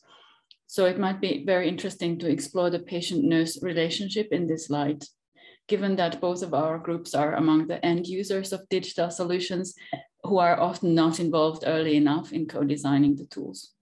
And of course, from my personal perspective, and I'll stop here, would be um, I would love to work together on patient safety advocacy because this, this is such an important area and um, at European level, it's a bit neglected at the moment, but there are initi initiatives ongoing um, also with the WHO European region so um, patients have a lot to contribute, families have a lot to contribute, and nurses also. So we could work together in that, I'm sure. Thank you. Thank you very much. And so it, it's very clear there's there's areas of shared advocacy. You know, both patients and nurses' voices tend to be you know underweight in policy discussions at, at uh, European and national level. And there's an opportunity to share, particularly because of the close relationship, as you've said, the partnership between nurses and patients. Nico, let me bring you in now. Um, and I wonder if you want to comment on um, what Maya said at the beginning, because Maya said, you know, good news, I've got good news. I've announced a funding call and there'll be a funding call for call for proposals on continuous professional education. And it was a part of me that was thinking, oh, that sounds great. That's really exciting. And then I remember that when I asked Ber which of the five pillars was the most important for the campaign, he said, getting proper recognition in all European countries that there is such a thing as specialist nurses. So yes, it's great. There's a there's a, fun, a potential funding call, but until we've got this statutory change and a recognition of these specialist nurses, that's that to me sounds like there's a, there's a contradictory message there. On the one hand, yes, they want to fund some activities around training, but unless that training leads into a recognized advanced or specialist nurses position, then we've got a gap. What's your perspective? Mm-hmm. Yes, uh, thank you very much. Thank you to all the speakers for their high quality presentations, first of all. Um, I think uh, I noted uh, I had also a double feeling about that. I, it, it, was the, really the, these words that I put it on, on my paper. Because if you see, um, uh, we have some congresses uh, in the, in the, past few years. We had COVID as a catalyst of uh, specialist nurse positioning about awareness about the complexity of care. And that's two elements, if you see them, you always, always these same elements are coming back and we don't go further about policy, about strategy. How can we, what uh, the, the, the presentation of uh, task shifting, I see the same thing in, uh, in France, the presentation about uh, uh, certification. I see it also on a national level. I think we have really to go further because at the moment, we have an increased awareness of this complexity needed, uh, recognized in, in caring for, for uh, by specialist nurses. But at the moment, we can get uh, at a break point if we don't go further in a recognition by policymakers on a, uh, higher mi mi micro mi micro environment, we we we can uh, have a, a, reverse adverse uh, strategy, and so we can lose all attractivity about how can we uh, put this uh, complexity uh, in an educational program that leads to something uh, that gives a specialist nurse or an advanced nurse this recognition to say i'm uh, in this whole healthcare system. I have found a place on a regulatory base. And that's really important i think. And we need really to go further. In this year we talk about a decade. It's for me we have to really to uh, uh, boost this uh, whole process of recognition at a european level. And uh, um, take all energy and synergy and partnership. The EU uh, uh, are talking about partnership. Uh, it's really uh, important to use also the, these guidelines uh, that uh, Corinne cited about ICN. It's all, it's something new. It's very recent. We have this publication at, with ESNO that also will be something that underlines this whole uh, system that uh, are barriers for recognition. And so we have to use it and really uh, stick together to uh, uh, uh upgrade it into a strategy for uh, in Europe.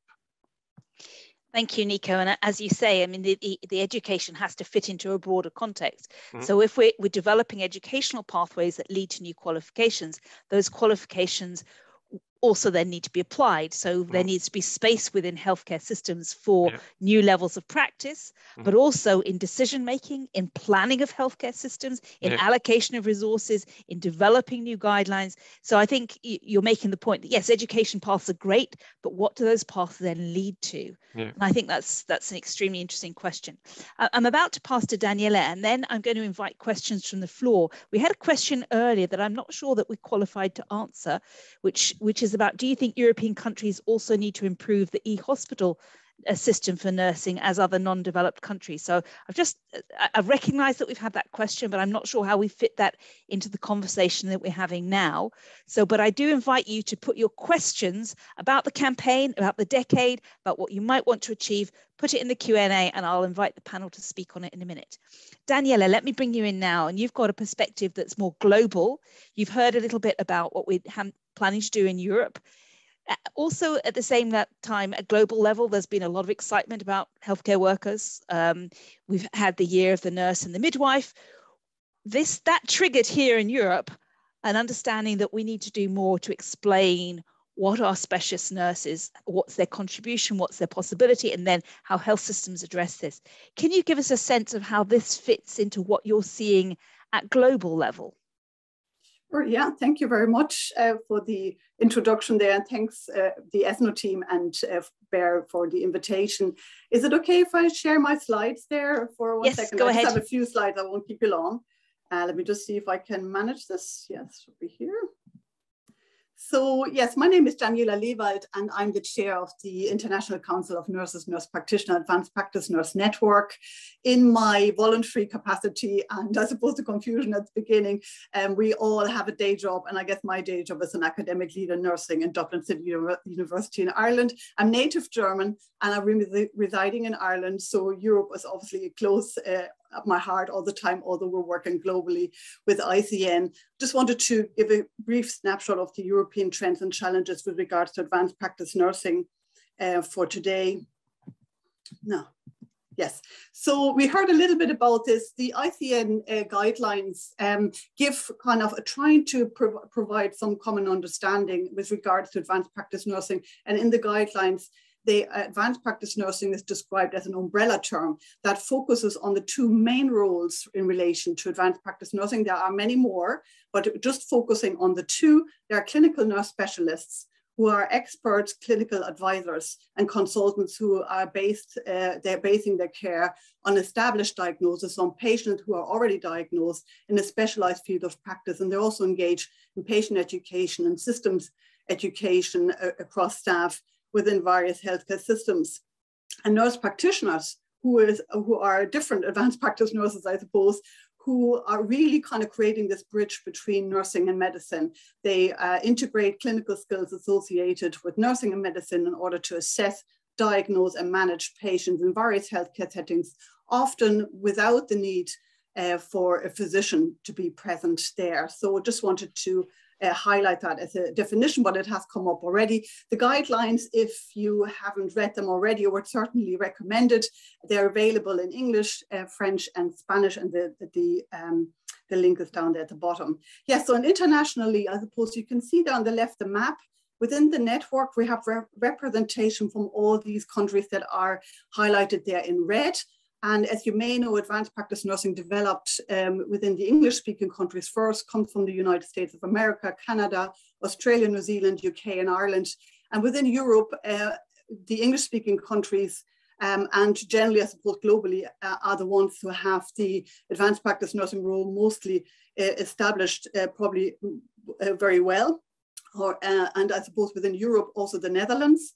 Um, however, there's a global spread but depending on where you find yourself uh, within the world, you will find that advanced practice nursing is developed uh, to uh, at different stages of development. So um, you might find yourself somewhere in an English speaking country where advanced practice nursing is very well established. And then you might find yourself in another country where advanced practice nursing is developing or it may be thought about to develop. So within Europe, we do have a lack of nurses, as we know from within the network, from our members and from our research that we're carrying out, that there's a lack of nurses that are fully practicing at nurse practitioner or advanced practice nursing level with an expanded clinical decision-making authority in direct patient care. So these people are not managers, they're not educators. These are clinical practitioners working at a level beyond the clinic, the, the, uh, the general nurse and the specialist nurse, at clinical nurse specialist or nurse practitioner level. And they need the authority to provide care without the presence of a physician and be able to prescribe, order and evaluate tests, diagnostic tests, physically assess, diagnose and treat patients, admit and discharge, and to exactly what uh, Kaisa was just saying there, uh, to provide timely care for patients. That's the main point. It's about patient care, reducing patient waiting lists, running smooth services and effective uh, services and provide patient-centered care, which results in higher le levels of patient satisfaction. Um, and if you think, you know, what's this woman talking about? These roles do exist. So if you wanted to, to look it up, I guess in terms of getting some examples, within Ireland, we have these profiles of advanced nurse and midwife practitioners and clinical nurse and midwife specialists, and they give a good, give good, good case examples of what these nurses actually do and where, you know, what, what area specialist areas they're in. So in terms of a wish list, what we would like to see over the next decade, um, we would love to see more um, clinical nurse specialists and nurse practitioners and other advanced nursing roles within Europe being uh, uh, developed and they need to be designated and protected roles and, those roles that nurses can fully function in and at a full capacity. Um, and that requires regulation. So we do, and we have heard that before today, so I'm not, not saying anything new there. Uh, we need to le legalize nurses' authority to prescribe medications, diagnose and treat patients. We do need title protection for the nurses in advanced nursing roles. And with that comes pay scales. I do make the point that they also need to be paid at an advanced level. And that's very important and that needs to be done. And we certainly have achieved that within Ireland. Uh, and education is, I think, the key to all of that, I suppose. It's, it's that kind of what Ber was talking about, that campaign is so important for this because we, where, whereas like I, I worked as a nurse practitioner, I know what the role is and I'm involved in this for over 20 years, but um, a lot of the time within our healthcare um, colleagues, it's advanced nursing what you know so it, it, the, the understanding isn't quite there. So we actually need to educate ourselves our colleagues the public very important policymakers the hospital managers and the health insurance systems as well so there's a lot of things that we need to do. We need to be much, much louder. This has been a quiet revolution so far, and I think we need to get loud about that. So that's what I would wish for. And there are master's programs all across Europe, as far as I'm aware, um, for advanced practice nursing, but I do think we could review them and maybe shape them up a little bit, in particular with regard to the clinical placements and with regards to clinical competency parts within the programs. Uh, so just to mention, if anybody's interested, we have a conference going on in Dublin, in Ireland. If you'd like to come over, hopefully COVID will permit us to have this in person, 21st to 24th of August, 2022. Um, the links are down there below. And there's also the membership list and here are the references. So thanks very much. Just wanted to Thank you. Thank you for that, uh, uh, Danielle. And of course, your slides will be shared with everyone as part of the material, so they'll be able to see that and uh, the information about your conference. Let me pick up a couple of questions that we've received from the audience. And we've had a question that I think is probably going to end up um, going to Nico. We've had a question from Siv Stafseth, who says the master's degrees is decided uh, by the Bologna process for specialist nurses. Is this still the policy of ESNO? That you want to have the master's degree for specialist nurses should be part of the Bologna process. Nico, is that something you can answer? Yes, uh, thank you. Um, so the master's degree, uh, I think, uh, will be uh, at a level of advanced nurses, and the specialist nurse is between uh, a general nurse, uh, the level between. So um, I think uh, so. Uh, as um, uh, was shown in the slide with uh, certification, the master degree uh, uh, is needed if we will have recognition for the, an advanced level. That will be the the condition to get into an advanced level recognition for nurses. And beyond, we will have a, a, whole uh, space for specialist nurses uh, that can also have uh, this uh, professional educational evolution. Thank you. And I, I, noticed just on this point, we've had a comment in the chat from Christine who's saying that perhaps we need to make a difference between specialist nurse and uh, the, the, clinical nurse specialist and APN. Yes. Because you know one might needs to have a master's level, but uh, for a specialist nurse, a post bachelor degree mm. is enough, and that's a message from Christine. And I see Daniela's nodding. Karina, I know you wanted to uh, come in, and you've got a question for Daniela, so let me pass the microphone to you. Thank you very much, Daniela. And I believe you were part of the team on ICN was, to develop. This, yes. So I'm going to ask the right question. I hope I asked I the right I person the question. so, I mean, when I was looking through the document, what was interesting was that um, unlike previous sort of documents and research, uh, the emphasis on the shortage of doctors was not evident. And i have uh, like a direct query about this you know because i believe wrongly or rightly it's my hypothesis that um, the development especially of uh, nps nurse practitioners is directly related to the lack of doctors in the place okay and yeah. sorry sorry and in malta let us say we don't have that we don't have the evidence that uh, we have a shortage of doctors so even talking about prescription in such countries like Malta will put their backs up. Um, unlike, you know, areas like specialist nurses and their development in skills and all that, that I think will happen and will continue. What's your thoughts about this issue of the development?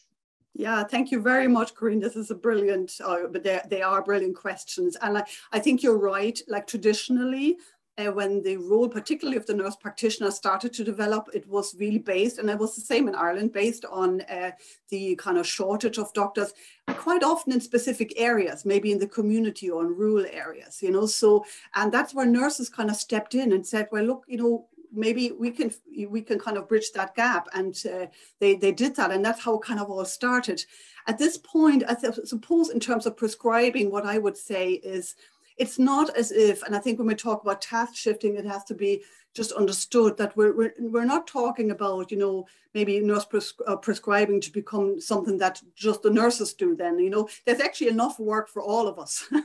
you know, from, from, from my experience, I would say it never ends, actually, it gets better. And that's the good thing, you know. So actually, if nurses and doctors can prescribe, and in, in Ireland, actually, some pharmacists can prescribe, and in the UK, there's others who can prescribe too. So it's just to improve the patient experience. If the patient needs a painkiller, needs it now, if the nurse is there and she has prescribing rights, she can do that. She doesn't have to wait for the surgeon coming back from theatre at six o'clock in the evening. It can be done then, and that's the timely element of it. So that's, I suppose, more what we talk about nowadays. But I think, yes, you're right.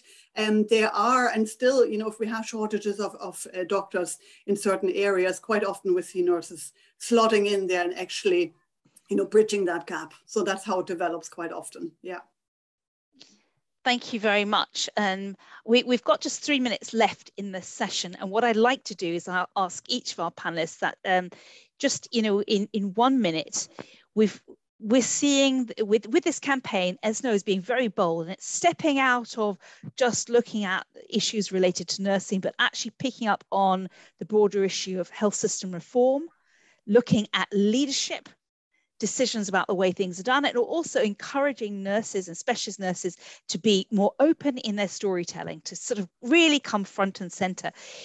If there's one message that you'd like to share with the nurses uh, specialist nurses who are making this bold step a word of encouragement what you'd like to say to the to we want to build the momentum this is the beginning of a 10 year process what would you like to share as your message I can start. Go ahead, Daniela. Thank you. Thank you. Um, I would say to anybody's practicing out there, I know that you have lots of experience. You're out there in your area and you know it 100%. I know that I'm an ICU nurse by background myself, so I know you know your stuff. So what you need to do in terms of leadership is think about, you know, what could be done better, and you know what can be done better. But take that and try to push the boundaries try to get that done and you can lead that. You're the nurse, you can lead it. You need support, but you can do that. And I think that's what we need to do. Thank you. Nico. I would like to underline the value of a human being to be uh, a professional and to be there for caring professionals, uh, patients, and that we have our own professional creativity to uh, confront and to to uh, to to take care uh, of the patients, even we are in a difficult and complex situation. Thank you, Kaisa. Go ahead. Last message to, to the patients. Sure. Well, I think it's a great campaign and stories can be really powerful. So um, go ahead and tell your stories. And I think you have an ally in our community because our community knows the value of a specialist nurses probably much better than the average person will know. So also get in touch maybe with our organizations and see if we can help spread the message. That's excellent. And I want to say a warm thank you to our panelists for sharing this. And I'm now going to hand over to um, Bert, who's going to give us the last section. Thank you so much um, uh, to all the panelists, uh, as well as uh, Tamsin for uh, uh, making sure this um, this this discussion was uh, obviously was in good hands. Um, yeah, so um, it's already uh, the last part of, of today's conference. Um, and um, um, it's time for, uh, I suppose, drawing some conclusions uh, before uh, I will hand over uh, to your president. Um, so um, having had the honor and the, and the pleasure to participate uh, as a moderator in the three most recent ESNO's conferences starting in 2019, uh, I'm very pleased uh, to have heard so many of your uh, personal uh, as well as professional uh, views. Uh, and obviously I've also read many of these in the, in the chat box today. And I think it's, it's because of the open character of ESNO um, and, and ESNO's conferences that I feel confident to share some today, some concluding remarks and some personal reflections on today's conference uh, and the two previous ones. So um, let me start, uh, which is which al almost seems like a mission impossible, uh, to give you three takeaways uh, from today's conference. Um, there's so many, uh, I think, important uh, messages being provided, but I will give it a go. Obviously, I think my first takeaway is the ESNO campaign. Uh, I, I, can't remember that I've seen such a um, massive, um, well thought uh, campaign um, running over uh, an extensive period of time. So with a lot of opportunities, I suppose, uh, to uh, also to make changes and make improvements um, on the go. Uh, and I think that is that is very important. I like the idea of um, the Olympic rings, perhaps instead of the five pillars, um, which uh, uh, makes it perhaps even more challenging. I think uh, the, the campaign will indeed, I think, be very important to increase visibility, to um, make sure uh, that uh, specialist nurses uh, contribute with their specific expertise uh, in terms of improving um, the health of people and obviously to promote recognition. Um, so um, congrats to ESNO uh, for um, uh, launching such a, uh, campaign. And I'm look forward I'm looking forward uh, I already looked forward to the 12th May every year but now uh, I have an uh, even more important reason to do so. Um, second and I think that is the at least to, to me that's the sticky phrase of today from Corinne and Kaisa used the, the, the phrase as well on the menu not on the table um, and um, I suppose both nurses and patients feel this way. Um, so it's time to join forces. Um, and I think um, from today, we've seen that there are uh, a few opportunities um, which have been more visible over the last years. One is uh, the shortage in terms of the workforce. Uh, second is the, the uh, uh, digital healthcare, uh, the uh, introduction of all kind of tools uh, and third, uh, I suppose the, uh, the biggest one is the transformation of healthcare systems. So um, perhaps to make the sticky phrase uh, even more sticky uh, or more attractive, uh, why not, um, why can't we move from on the menu towards the table, but perhaps even why not become the chef? Um, and I think that that um, resonates with um, uh, Corinne's message in terms of leadership. My third takeaway, and I think that is what uh, Maya Matthews um, gave to us, um, her, her three takeaways were based, I think, on evidence. Um, the, the three takeaways she provided to us have a strong uh, evidence base. And so I'm glad to see that the fifth pillar of ESNO's campaign is about research, research on specialist nursing in Europe. So, um, and I think um, research is really important uh, pillar uh, as a kind of a conditional pillar for the other four pillars. So I'm, I'm really hoping um, that you can make use of the opportunities being provided by the European Commission in terms of subsidies for research, but perhaps also from the uh, other uh, opportunities being provided by uh, sponsors or perhaps uh, by gaining national uh, funding for uh, research and make use of that in order to realize your campaign goals. Um, so since the past three years, much has changed simultaneously on but also simultaneously on some crucial aspects, nothing has changed. What has changed, I think, uh, from my perspective, is I've seen ESNO grown immensely, uh, sharing a clear vision uh, and um, a very uh, appealing strategy, which we have seen uh, all today. And already uh, being able to achieve some of the first very promising results in this respect. Um, a European health bubble without ESNO, I think, is unthinkable. Um, ESNO, you are leaving your mark in all kinds of networks and you're providing insights and sharing your expertise. And even more importantly, you're also um, uh, learning and collaborating with others.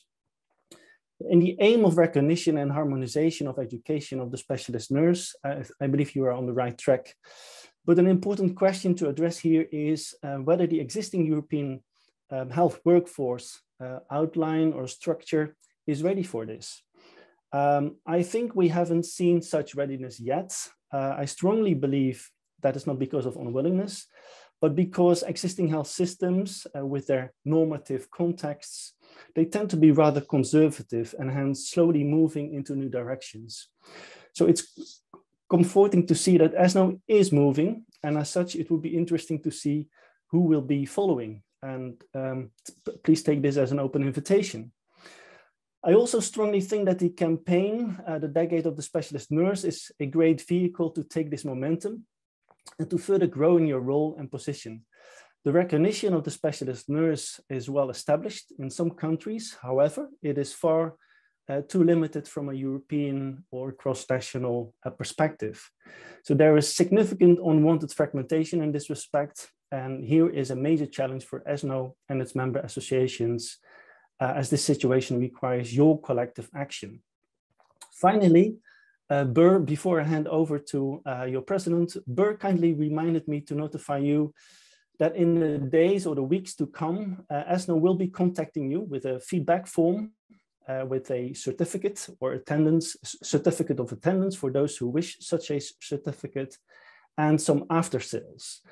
So you will um, also uh, re receive frequent updates on the progress, and you may wish to become part of this moving campaign.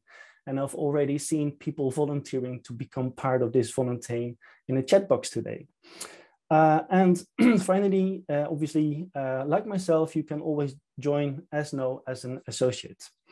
So um, on that note, thank you so much. And let me please over for the um, real closing of today's uh, conference. Uh, let me please over to uh, Dr. Adriano Friganovic, your president. Well, Adriano.